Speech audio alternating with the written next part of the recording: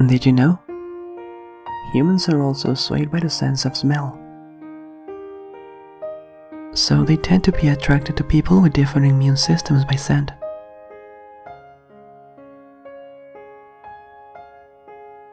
I see.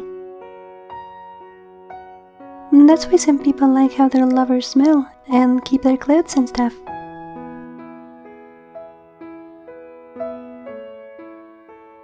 But if you think about it, it has nothing to do with the efforts you put in since you're just born with it.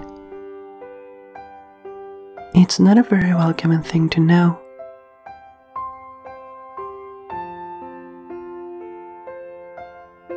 There's nothing you need to worry about, Norman. Hmm?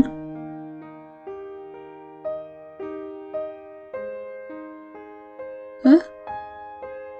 What do you mean? Well, you always smell really good.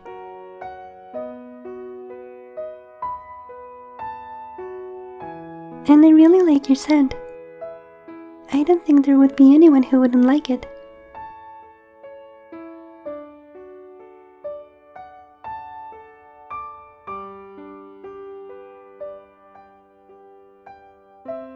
I take back what I said earlier, Ray. Science is nice. You don't even have to say it.